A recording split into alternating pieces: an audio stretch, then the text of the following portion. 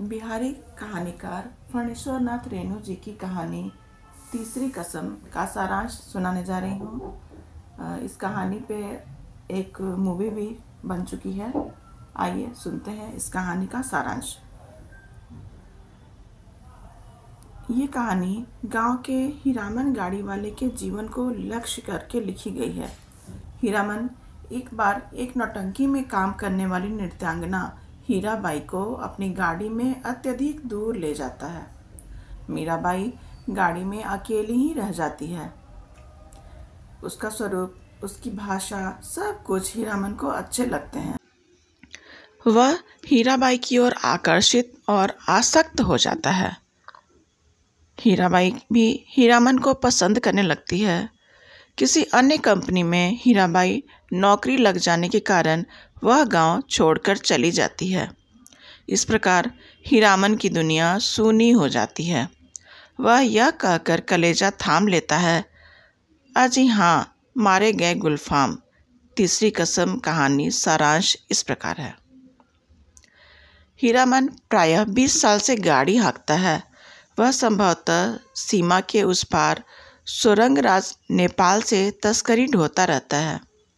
यह करते हुए उसके दिल में थकान हो गया है। एक सीमा के इस पार तराई में उसकी गाड़ी पकड़ी गई थी। जब वह बड़ी गद्दी के बड़े मुनीम जी को कपड़े की गांठों के साथ ले जा रहा था, उस समय उसने अपने बैलों के साथ अंधेरों में भागकर अपनी जान बचाई थी। एक बार उसने सौ रुपये लेकर सर्कस कंपनी के भाग ढोए थे, किंतु आज हीरामन एक महिला को ले जा रहा था। नाम है हीराबाई। वह पहले मथुरा मोहन नौटंकी में काम करती थी, किंतु उसको छोड़कर वह रीता नौटंकी में काम करने के लिए फारबिसगंज जा रही है। उसने चंपा का इत्र अपने कपड़ों में लगा रखा है। चंपा की सुगंध हीरामन को पागल बनाए दे रही है। हीरामन के मन में हलचल होती है और वह हीराबाई से बातें करता है। हीराबाई एक चालाक नारी की भांति उसको बढ़ावा देती रहती है। लेखक लिखता है कि हीराबाई ने परख लिया है कि हीरामन सचमुच ही रहा है। हीरा को वह घटना याद आ जाती है कि जब वह इसी प्रकार अपने भाभी को बंद गाड़ी में लाया था, रास्ते में गाँव की बोली ठिठोली उसके कल्पना लोक में भेज देती है। जब वह इसी प्रकार अपनी दूसरी दुल्हन को लेकर आएगा, उसकी पत्नी मर चुकी है। विवाह के थोड़े ही दिन बाद, हीराबाई के प्रति हीरामन एक विचित्र लगाव पैदा हो जाता है। वह नहीं चाहता है कि अन्य कोई व्यक्ति हीराबाई को देखे अथवा हीराबाई से उसको बात करते समय उसको कोई देखे।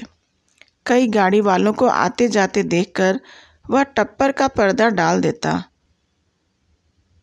वह हीराबाई को हाथ मुँह धोने के लिए भेज देता है, कजरी नदी के किनारे ठहर कर हीराबाई के स्वयं लौट कर आ जाने के बाद वह स्वयं नदी पार कर जाता है।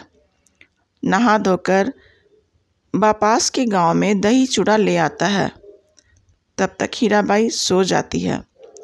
हीरामन हीराबाई को जगाकर कहता है, उठिए, नींद तोड़िए, दो मुट्ठी जलपान कर लीजिए।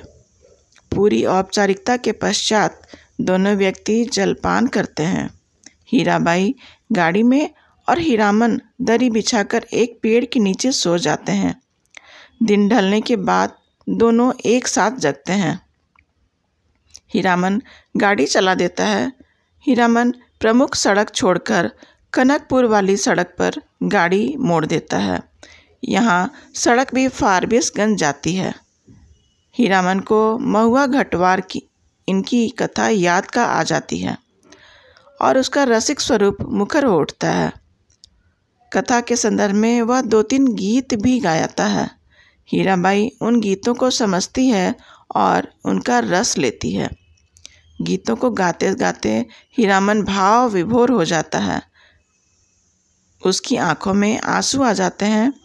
हीराबाई हीरामन के गाने द्वारा प्रभावित होती है और उसका अपना गुरु एवं उस्ताद मान लेती है। हीरामन हीराबाई के लिए कानपुर पहुंचकर चाय ले आता है। वहाँ से चलकर रात के पहले पहर में वे लोग फारबिसगंज पहुँच जाते हैं। फारबिसगंज के तो हीरामन हेतु घर की तरह है। यहाँ उसके अन्य गाड़ीवान साथ मिल जाते हैं। हीराबाई सबके लिए कौतूहल एवं आकर्षण का विषय बन जाती है। साथ ही सब लोग हीरामन को लक्ष्य करके छींटाकशी भी करते हैं। हीराबाई हीरामन को किराए भाड़े के पचास रुपये देती है। हीरामन को यह अच्छा नहीं लगता। हीराबाई उसको अपनी स्थिति का एहसास करा देती है। हीरामन को मानो कोई आसमान से ज़मीन पर गिरा देता हो। हीराबाई हीरामन को रीता कंपनी में जाकर उससे भेंट करने के लिए कहती है। हीराबाई नौटंकी के अठन्नी वाले पचास पैसे दे देती है। हीरामन अपने रुपयों वाली थैली हीराबाई को सौंप देता है। नौटंकी प्रारंभ होती है और हीराबाई पर लोग आवाज़ें करते हैं। हीरामन के साथियों को विशेषकर पलट दास का यह बुरा लगता है। थोड़ी सी कहा सुनी के पश्चात मारपीट होने लगती है। पुलिस वाले अपना डंडा फटकारते हैं। नौटंकी का मैनेजर बीच में पकड़कर पुलिस वालों को समझा देती है कि यह लोग हमारे आदमी हैं। मथुरा मोहन कंपनी के आदमी दंगा कराना चाहते थे।